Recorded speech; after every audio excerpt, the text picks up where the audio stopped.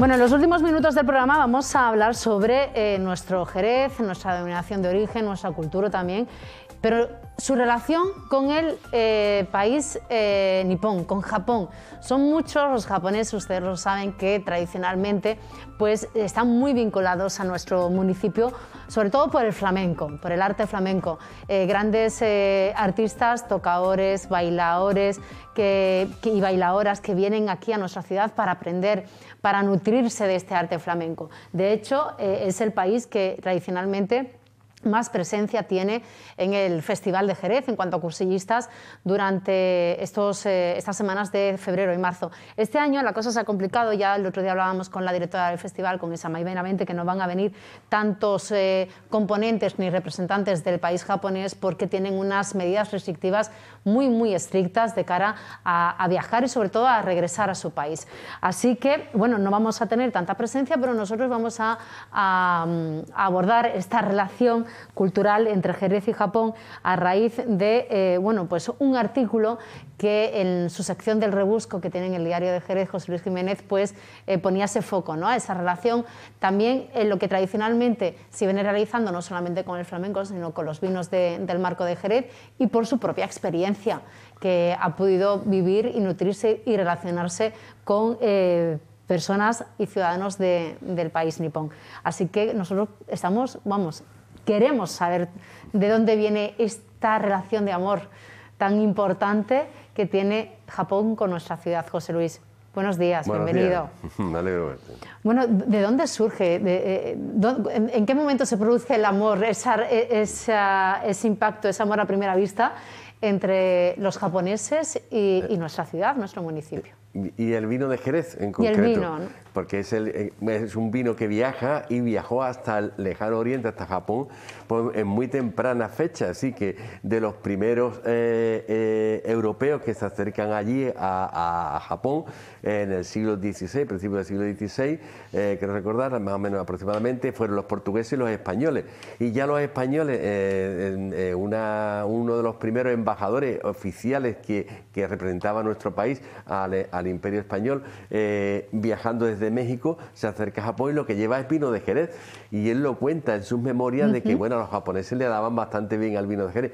Y él dice que el vino de Jerez sería una buena manera de introducir o atraer al japonés también dentro de lo que es lo que pretendían también los españoles, que es la, bueno, la economía y el, llevar la religión, el catolicismo allí. Francisco, San Francisco Javier eh, llevó el, el cristianismo allí, tuvo una época de difusión bastante importante y luego, como se sabe, eh, Japón cerró su frontera por una serie de circunstancias, inmediatamente fue un siglo de buenas relaciones y en ese siglo el vino de Jerez ya se movía allí, ya era aceptado y, conocido el vino de Jerez, no a gran escala, pero ya eh, era, eh, tenía un conocimiento y se difundía.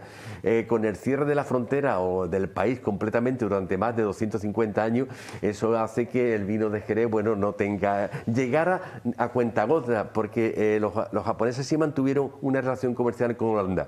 Tenían una pequeña isla eh, de donde un barco holandés una vez al año, dos veces al año llevaba a través de Holanda los vinos de Jerez, es decir, pero bueno, pues dosificado.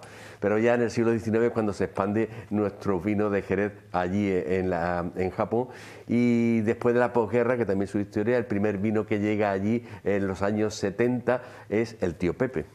O sea que enamoramos a los japoneses con nuestro vino. En cierta manera sí, ¿no? Ya luego vino el flamenco. exactamente, todo el mundo conoce el flamenco, la relación de la Japón relación con el de Japón con nuestro flamenco, pero todo empezó por el vino de Jerez. Que en cierta manera eh, eh, tiene su influencia, se van, eh, van en paralelo, es decir, incluso escritores que comentaban mi artículo, em, que ahora escriben las novelas, unos más famosos, otros están también empezando, tienen una especial relación con el flamenco, son un enamorado del flamenco, algunos de ellos tocan la guitarra, algunos son cantadores, y a través de eso, del flamenco, de la música, han llegado también al vino de Jerez, que lo plasman en sus novelas, que es un poco la historia que yo quería contar en, mi artículo el otro día, las relaciones culturales que hay alrededor del vino, no las comerciales que no me interesan, me interesan menos, pero sí ese, eh, ese trasfondo que queda de nuestro vino en el, en, el, en el sustrato de la cultura del país donde va nuestro vino, Inglaterra por supuesto, pero en este caso Japón. Claro, yo iba a decir que José Luis eh, realiza un trabajo de investigación eh, impresionante de cara a todas las menciones menciones que hay sobre el vino de Jerez,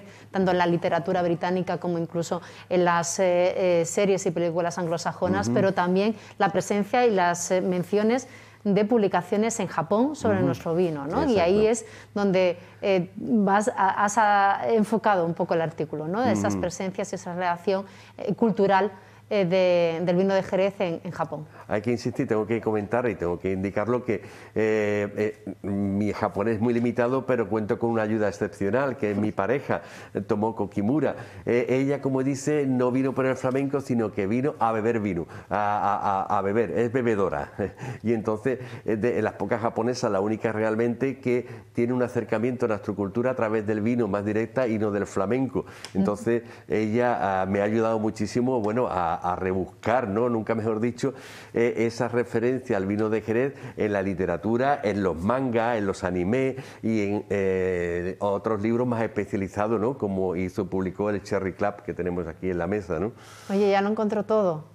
Aquí en Jerez encontró el vino, vino por el vino, encontró el flamenco y encontró el amor. Y estaba ahí, bueno, llevamos ya cuatro o cinco años, cuatro años desde 2014 juntos y la verdad que ha sido una gran ayuda para todo esto, hay que decirlo, ¿no? Sin ella no podía haber eh, llegado a estas conclusiones o a este conocimiento.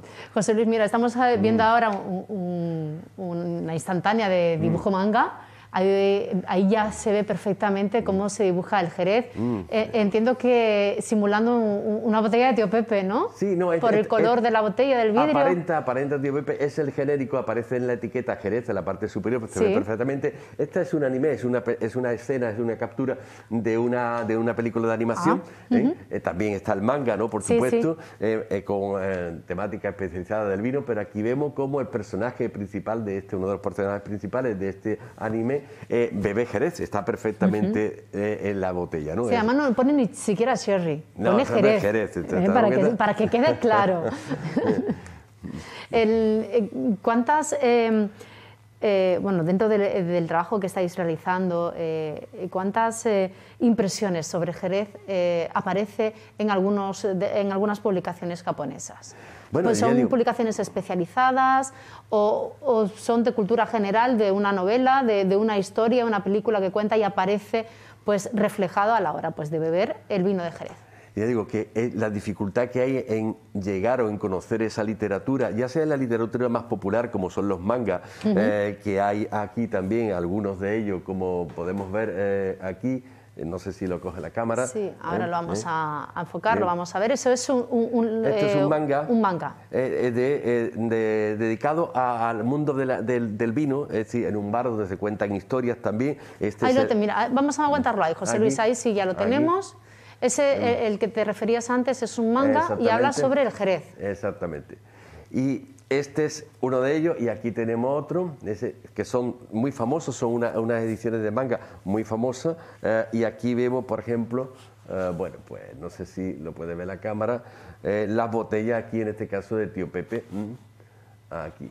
Mm, ah, sí, ahí la vemos perfectamente, a la parte derecha de la pantalla, esa bodega, mm, esa bodega, esa botella de Tío Pepe son historias que van contando a través del mundo de, eh, de los bartenders, de los sommeliers, y, son, eh, han tenido bastante fama ¿no? Eh, estas publicaciones y bueno, cómo se, se, muestra nuestro vino, que no es fácil porque los vinos italianos, los, de franceses y los americanos son, son los que se imponen realmente en el mercado japonés, hay que reconocerlo. El vino de Jerez es muy residual realmente. Hay muchos fanáticos, en el buen sentido de la palabra, de bares, de Cherry Club, de bar Cherry. los Cherry Lovers, ¿no? Que se llama ahora. Los menenciadores japoneses, que también son una, una, una, casi una sociedad ya amplia con muchos representantes y lo bonito es que cuando vas allí a esos bares, eh, a los sherry bar, bueno, te venencian hasta el vino. Es difícil encontrar en Jerez o en ningún sitio de la zona que te venencien el vino. Entonces es muy exótico para el cliente que el, el, el, barman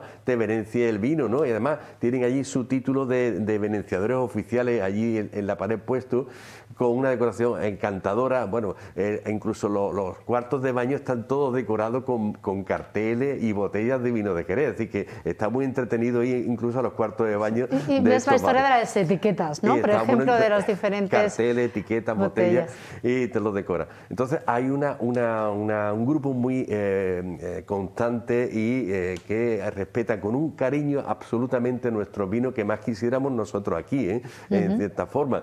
de, de, interés, de, de preocupación. Incluso, bueno, la edición de del, creo que hay una fotografía también que pasé a los compañeros, del, del, publicado por el Sherry Club de Tokio, eh, por mi chico Sam, que es la mejor publicación que hay sobre el vino de Jerez ahora mismo en Japón. Es una Momoko Izumi, estuvo aquí viviendo durante más de cuatro años, becada por la propietaria del, del, Sherry Club. Y bueno, todo eso hace que eh, a través de, y expurgando con muchas dificultades, a través de esa literatura del manga, de, de novelas también, y tenemos uno de los representantes más importantes, ¿no? Eh, aquí, bueno, esto también tenemos la referencia que eh, eh, este es el chariclá y la señora que está en el centro es mi chico, mi chico Takahashi que es la dueña del, bar, del Sherry Club más importante que hay en Japón. Pues estamos hablando de eh, establecimientos en Japón. Eso es uno de tus viajes allí. Allí está, mira cómo ha decorado el ah, bar. esto es una conferencia que di en la Universidad de Kanagawa eh, con motivo del 150 aniversario de las relaciones diplomáticas que se estableció entre España y Japón en el siglo XIX. Bueno, me invitaron allí, hicimos una cata de vino con vino de William Humber, incluso eh, se cortó jamón de, de pata negra por parte del campeón de cortador de jamón también de, de Japón. Así que el jamón, el vino, el flamenco, todo está relacionado y esta es, bueno, pues mi intérprete. Y aquí vemos esta fotografía curiosa. Sí, porque vamos a ir comentando las imágenes que vamos a ir viendo. y así en casa también lo pueden seguir mucho mejor. ¿Esto a qué pertenece? Esta es una, serie de televisión muy famosa en, en, Japón. No, no, se vio en España, es del año mm, principio de los 80. Y vemos como el personaje principal, que es un detective que se caracteriza por ir en la hambreta, eh, por fumar un tipo de cigarrillo. ¿Y por qué? Por beber tipo de vino de Jerez, tío Pepe, que vemos aquí en la, en la, en la con catavino. Sí, con un catavino, una copa, una incluso Con, con, su con su vaso, o sea, con la copa correspondiente a, nuestro vino. Y en primer plano la botella de Tío Pepe. Es decir, que eh, en muchos capítulos de esa serie se va a ver al personaje tomando vino de Tío Pepe, porque es su favorito. Es decir, porque ahí entra mejor, ¿no? Los finos, que, a lo mejor los más dulces o los Encaja mejor con la, con la, gastronomía eh, japonesa, evidentemente. Aquí tenemos la portada del libro de eh, Osaka Go, un escritor también eh, japonés, que el título es muy representativo, La estrella roja de Cádiz, que se desarrolla en Cádiz y donde el vino de Jerez también aparece eh, de forma fluida en la narración de la, de la novela. ¿no? es un autor con muchas otras historias eh, de un detective también que eh, vive, eh, viene a España y va buscando una serie de tramas policíacas donde él está involucrado. Bueno, pues todo eso y sobre todo uno de los más bonitos de referencia al vino de Jerez lo encontramos en esta obra. bueno, esta es la portada del libro de 1992 que se tradujo de Manuel González Gordo, El Jerez sí, Sherry, y se tradujo a Japón en 1992. Fue el primer libro eh, especializado y bueno, dedicado completamente al vino de Jerez, eh, con la edición japonesa de Manuel María González Gordo, que es la Biblia de, los vinos de Jerez prácticamente, ¿no? Eh, y tenemos la edición japonesa. Aquí tenemos la, una de las páginas de otro manga también, donde aparece una botella de Lustau, ¿eh? Eh, donde el barman, eh, el bartender, está comentándolo. Este es un artículo que publiqué ya en el 2006, antes incluso de conocer a mi pareja, Tomoko Kimura, ya más estaba interesado por, por el mundo de la cultura de, de, de Japón y nuestro vino. Y se publicó en La Voz eh, de Jerez en el 2006. Y fijaros bien esta, esta página. Es la Catedral de, Jerez, ¿no? Es, la Catedral de Jerez. El personaje está viendo una copa de Jerez y está imaginando la ciudad de Jerez, bueno, pues eh, con la imagen de, de, la catedral, ¿no? Qué, curioso, ¿no? Se documentan, se informan eh, estos, los guionistas y los autores de los... De los Aquí vemos a mi pareja, Tomoko Kimura, con el libro de visitas de González Vía, donde aparece la firma del actual emperador. En aquel momento era príncipe heredero y eh, Naruhito. Y aquí vemos eh, con la firma, porque estuvo aquí en el 92 con eh, vista a la, Expo de Sevilla. Se acercó a Jerez, visitó González Vía y dejó plasmada su firma aquí. Esta es una bota también de la feria, de la, perdón, de la fiesta de la vendimia, que se dedicó también en el 74, creo recordar, a, Japón. Y como todos esos vínculos del vino que aparece un poco difuminado eh, en nuestro entorno, eh, con elementos como ese, eh, pues forman un conjunto que da sentido al artículo y al trabajo que he publicado. ¿no? Y como decía, el que es candidato al premio Nobel de, por Japón, Murakami, tiene una novela que es UK UK84, que la tenemos aquí, no sé si la podemos ver.